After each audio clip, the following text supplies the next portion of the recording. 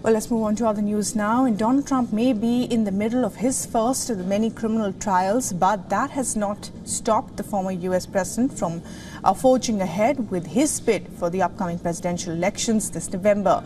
The weekend saw Trump organize a fundraiser in Palm Beach in Florida that also served as what many call an audition for the vice presidential nominee. Now, what has been a quiet campaign for months now appears to be gathering momentum. Over the weekend, Trump gathered hundreds of donors and prominent Republican lawmakers in Florida.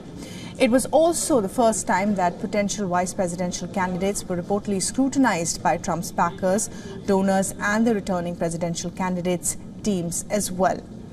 The list of Trump's VP contenders includes Senator Marco Rubio of Florida, J.D. Vance of Ohio, and Tim Scott from South Carolina.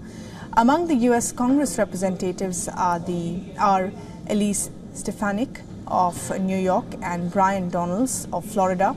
Also on the list of potential candidates to be um, second in command are Governors Doug Burgum of North Dakota and Kristi Noem of South Dakota. Several officials from the Republican camp and political analysts have pegged Rubio Vance and Scott as the top contenders for the vice president's position.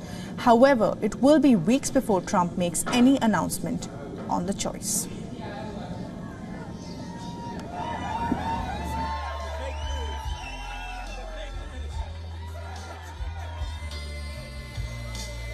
For all the latest news, download the WION app and subscribe to our YouTube channel.